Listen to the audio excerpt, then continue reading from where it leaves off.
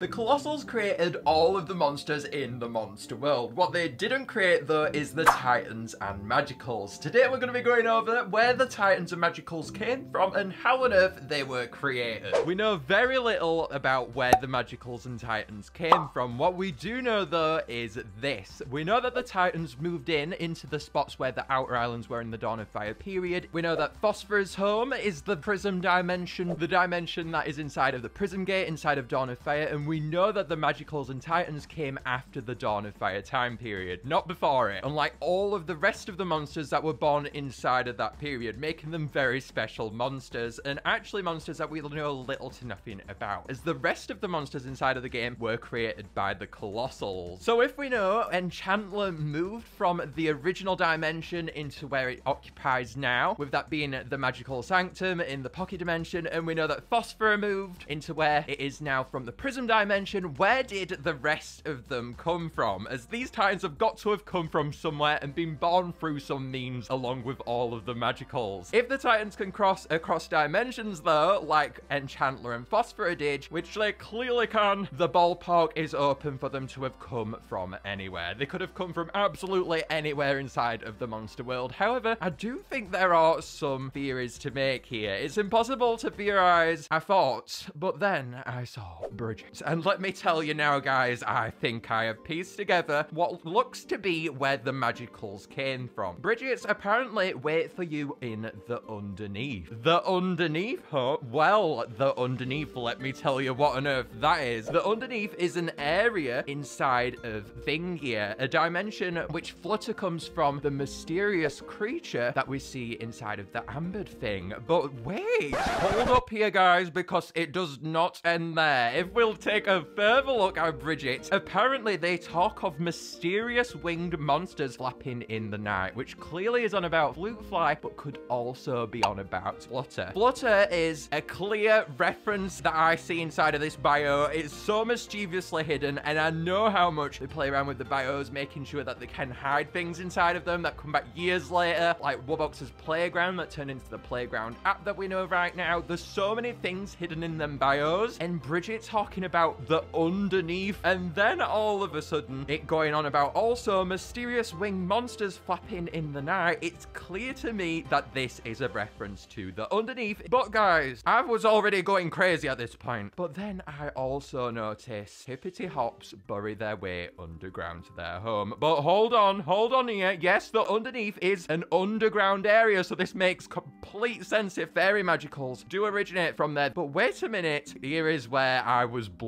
away away because inside of Cantorell's bio, it reads that their caps emerge from the earth. And if we take a direct look at the underneath right now, we'll see mushrooms sprouting underneath inside of that area. And this is a clear reference towards that as it's literally referencing the caps on top of Cantorell. And those caps are literally almost the exact same as the ones in the underneath. I'm in full motion right now, guys. There's mushrooms in this area and there's clearly something going on with all these references and all of the titans coming from different dimensions in the magicals. But hold on. So now we know Phosphor came from the Prism Gate dimension, and we know Faerie Island's Titan Facade came from the underneath in Thingia, and Enchantler moved from the monster world into the pocket dimension. Then what about the rest of them? What about Psychic in particular? I was fully going now, and I was ready to conquer this theory. And when I read Bonkers as bio, it just completely clicked for me in an instant. Bonkers apparently makes out its thumping on Stump Ease. Stump Ease is clearly a reference towards Thump Ease.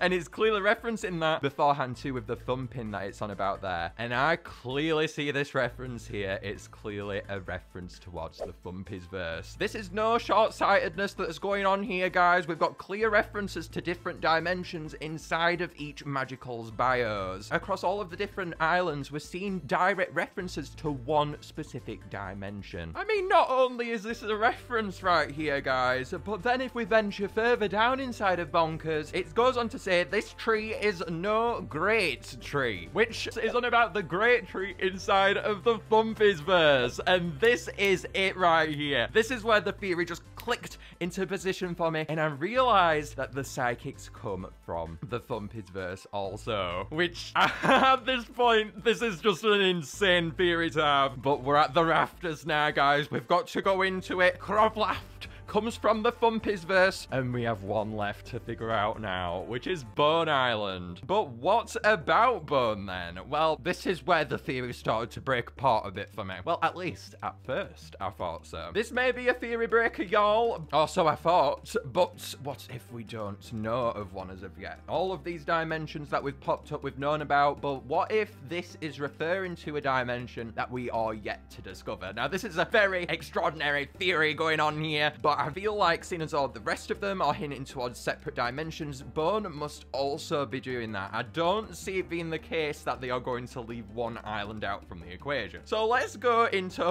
what I think this dimension could be. Now, I started thinking about all of the different lore tidbits that we know behind Bone Island, and I started to realize some things that didn't quite click. For example, how does Wither get its skull from the Dawn of Fire time period? There's literally no remains from the Dawn of Fire time period. We know that there's some underneath, under the ground, inside of the monster world. That's where they got the crystals from, for the crystalline castles. But that is besides the point, because these are really rare things to find. And yes, Bone Island may be situated underground. I feel like that's going to be a really hard thing for Wither to get his hands on. But not only that, guys, because Peckidna, apparently my favorite monster, apparently protects itself with its shell from itchy tummied giants. And then I started to realize giants? The Dawn of Fire? You don't say. And then it clicked for me. In an instant, I was filled with this theory and I knew I had to make this video because I saw what was going on here and I realized, could it be the Colossal's home dimension? Now, this is where I'm very unsure about this theory, but how on earth could Wither have got that skull? Why on earth does Peckidna need its shell to protect itself from giants? I mean, sure, it could be on about the Titans here, but the Titans came from separate dimensions that we're on about potentially inside of this theory. So if that is the case, then clearly they are going to be protecting themselves potentially from something else, as they are situated on top of the Titan as well. So I don't see it being the case that it's referencing towards the Titans at this point. And then I also started to think about missing plot points inside of the game, like where the Colossals are inside of Dawn of Fire. I mean, sure, I asked this question on My Singing Monsters Live, and they gave the answer. They're all around everywhere, but I feel like they must be situated somewhere. So is this the missing plot thread? Is this where the Colossals hang out? Was this where the great song was performed?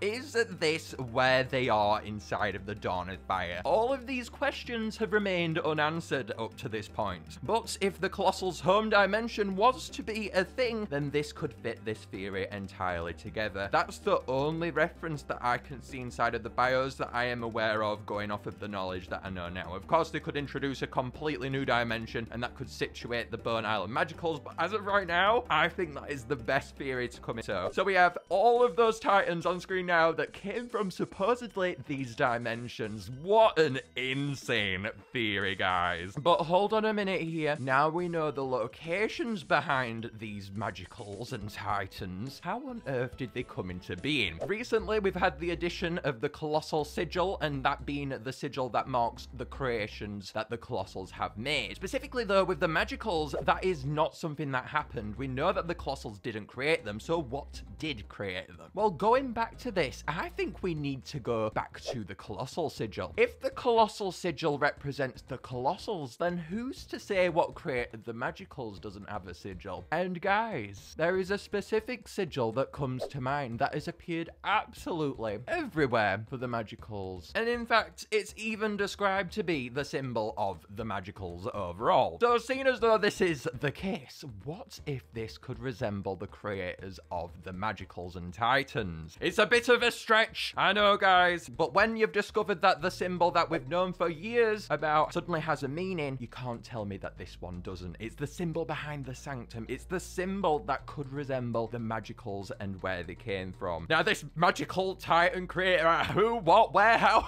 I don't know where they've come from, but I feel like this is just such an insane theory to put forward and would be such a cool addition solution if it was to be implemented. This symbol is another symbol that we've seen everywhere for the Magicals, and having that be the symbol that resembles the Magicals' origins, whatever that may look like, would be such an interesting concept. Yes, we have been over where the Magicals did come from today, but I do think there's lots of mysteries left to be had with the Magicals. If you would like to see some more theories from me, please do let me know down below, and make sure to let me know what you think about this one though, guys, for now. Make sure to leave a like if you enjoyed, and to subscribe too, guys. Bye.